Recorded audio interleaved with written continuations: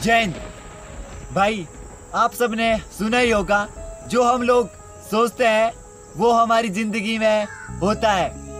अगर आप किसी के बारे में बुरा सोचोगे तो भाई, आपकी ज़िंदगी में बुरा ही होगा। अगर आप किसी के बारे में, मन से औरों के बारे में अच्छा सोचोगे, भगवान से ऐसा बोलोगे, इनकी ज़िंदगी में अच्छा होना चाहिए तो आपकी ज़िंदगी में भी अच्छा होगा। क्योंकि जो हम सोचते हैं, वो हमारी ज़िंदगी में होता है। तो भाई, इसलिए जिसको ऐसा लगता है कि जो हम सोचते हैं, वो नहीं होता है तो ये ट्राई करके देखना।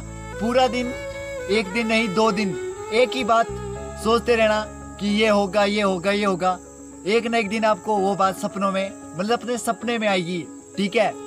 जो हम सोचते हैं, वही होता है। और जो हम अभी इस जन्म में कर्म करेंगे, मरने से पहले उसका हमें फल मिलेगा ही मिलेगा। अगर अच्छे कर्म करोगे तो भाई अच्छा फल मिलेगा। बुरे कर्म करोगे तो बुरा फल मिलेगा। ठीक है? अच्छे कर्म करो, अच्छी ज़िंदगी जियोगे। बुरे कर्म करोगे, बुरी ज़िंदगी जियोगे। अगर भाई, मेरी लाइन आपको अच्छी लगती है तो चैनल को सब्सक्राइब करें, लाइक करें और शेयर करें। जय हिंद, जय भारत।